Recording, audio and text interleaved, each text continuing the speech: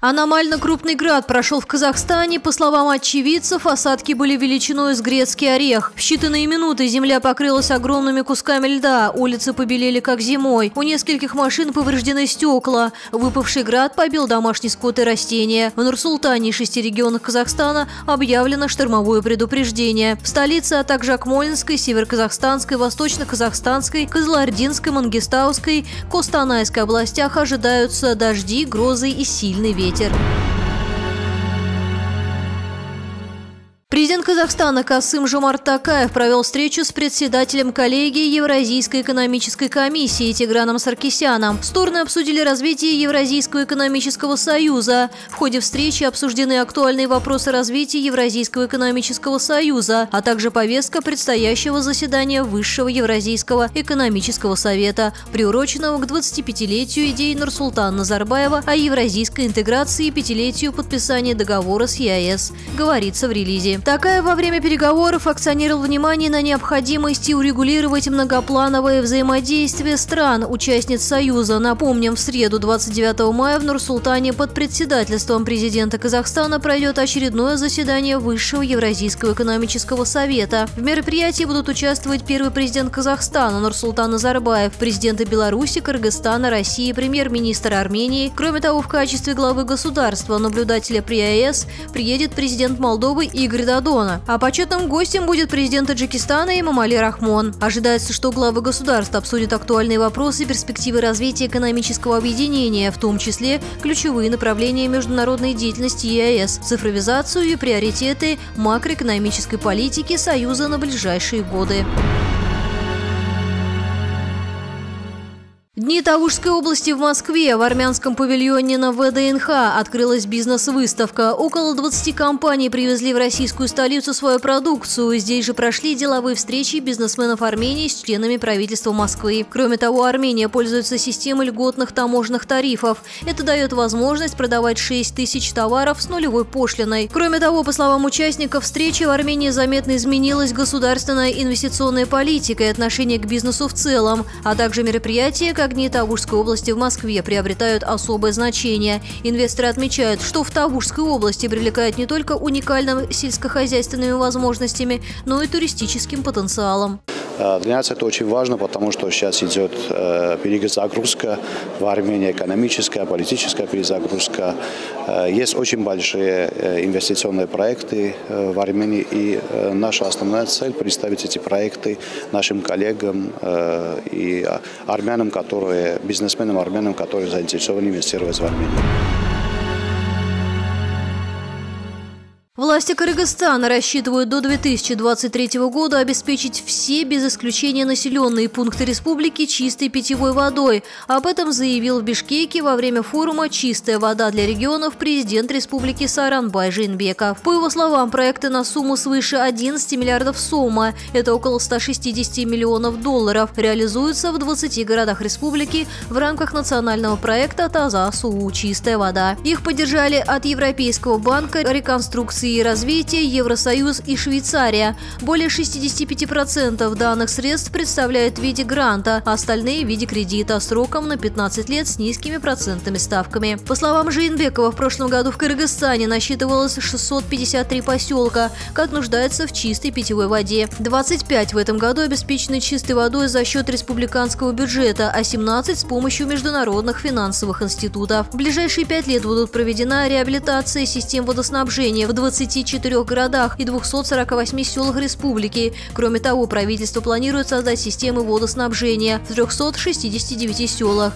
где их прежде не было. По сравнению с 2014 годом финансирование этой программы выросло в 9 раз – с 25 миллионов до 250 миллионов сомов. Деньги должны быть использованы рационально и экономно, без повторения ошибок при реализации первого этапа программы «Чистая вода».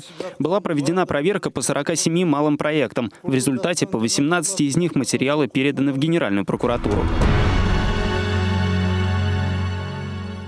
В Армению за здоровьем. В республике активно развивается медицинский туризм. Пациенты со всего мира выбирают Армению за соотношение качества и цены. Здесь стоимость услуг стоматолога на 40% дешевле, чем в других странах СНГ, и на 60% меньше, если сравнивать с Европой. В Арзне предоставляют услуги в трех направлениях – лечение сердечно-сосудистых заболеваний, кишечно-желудочного тракта и опорно-двигательной системы. Еще один плюс в Армении – отсутствие языкового барьера. Здесь большинство жителей владеют армянским, русским и английским языками. Армения уже заняла свою нишу в сфере медицинского туризма. Ведь упор здесь делают не на количестве обслуженных клиентов, а на качестве предоставляемых услуг. Скоро в стране также займутся лечением людей, которые работают в сфере атомной промышленности. Для них готовят специальные пакеты услуг. У нас ежегодно около десятка туристов приезжают из таких стран, как Япония, например, Австралия, потому что есть очень интересные специфические процедуры, которые у нас проводятся на высочайшем уровне.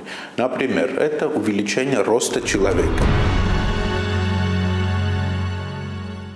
Мусорному полигону быть. Мэрия Бишкека и Европейский банк реконструкции подписали соглашение об открытии новой свалки и перерабатывающего завода. На старом полигоне уже начали утилизировать бытовые отходы и восстанавливать почву. К 2020 году на этом месте будут поля. Их засеют бобовыми и кормовыми культурами. Чтобы узнать, какие именно растения приживутся, на небольшой площади соорудили опытно-экспериментальный участок. Здесь уже растет четыре сорта ярового ячменя. Работы идут меньше месяца. Закончить их планируют уже к концу следующего года. Это будет современный, большой и э, удобный, эффективный для города Бишкек завод. Он будет, надеюсь, будет отвечать всем требованиям э, работы таких заводов э, в современных э, западных и э, цивилизованных государствах. Фиат Крайслер предложил французскому автоконцерну «Ренат» создать совместную компанию на паритетной основе. Об этом говорится в обнародованном заявлении итало-американского концерна. Компания уточнила, что предложила «Ренат» полное слияние на равных, то есть каждый участник сделки получит 50% долю в новом бизнесе. Фиат Крайслер представляет предложение о проведении слияния с группой «Ренат» для создания новой глобальной автомобильной группы. Создание альянса позволит ежегодно продавать почти 9 миллионов автомобилей, что поставит ставит его на третье место в мире по этому показателю после немецкого Volkswagen и японской Toyota. Объединенная компания будет иметь более широкое и сбалансированное глобальное присутствие на автомобильных рынках в ключевых регионах, что позволит сэкономить более 5 миллиардов долларов, говорится в заявлении. Капитализация Fiat Chrysler составляет 20 миллиардов долларов, Renault – около 17 миллиардов. Сейчас ведутся переговоры об их широком партнерстве. Готовность двух компаний к решительным шагам связана с ужесточением норм выбросов и с вызовами, стоящими сегодня перед мировой автомобильной промышленностью, которая переходит к принципиально новым технологиям. Городок Барандикарайс в бразильском штате опустел. Людей эвакуировали из-за угрозы прорыва плотины горнодобывающей компании «Вале». Однако жители отдаленных районов вскоре все равно могут эвакуировать. Они находятся в зоне риска. Люди боятся потерять свое имущество. Дамба находится в 65 километрах от Барандикарайса. Компания больше ее не использует. Плотина удерживает 6 миллионов кубометров воды. Жителей Барандикарайса эвакуировали вскоре после прорыва дамбы в Брумадинью. Она также принадлежала компания «Валя». Катастрофа произошла из-за повреждений хвостохранилища на железнорудной шахте. Тогда погибло около 200 человек, более 80 пропали без вести. Около четырех лет назад такая же авария была на плотине в Бенту-Родригесе. Ответственна за нее все та же компания. Теперь прорыв угрожает еще трем дамбам. Они все находятся в штате Минаж-Райс. Люди не заключают договоров на услуги. Они не знают, что будет завтра, останутся ли у них дома. Поэтому они не заглядывают в будущее. Подземные толчки были силой 8 баллов и ощущались в большинстве городов страны Перу. Для Перу это самое сильное землетрясение за последние 12 лет. По данным властей, разрушено более 50 домов. Повреждены здания некоторых школ, церквей и больниц. Президент Перу Мартин Вискара осмотрел пострадавшие районы с вертолета. По его словам, больше всего разрушений в городах Юримагус и Тарапота. Очаг залегал на глубине 115 километров в малонаселенном регионе Лоретто в северной Амазонии Амазонии. Подземные толчки ощущались также в соседних Эквадоре и Колумбии. Ущерб от разрушений устанавливается. С сегодняшнего дня, 28 мая, в обращении в странах еврозоны поступят новые банкноты номиналом 100 и 200 евро. Они отличаются по размеру от старых того же номинала. Изменилась, в частности, их ширина. У обеих банкнот она будет такой же, как у банкнот в 50 евро. Таким образом, банкоматы смогут быстрее их обрабатывать, и они будут легче помещаться в кошельках граждан, отмечается в официальном сообщении Европейского Центробанка. Длина банкнот осталась прежней, не изменился и цвет.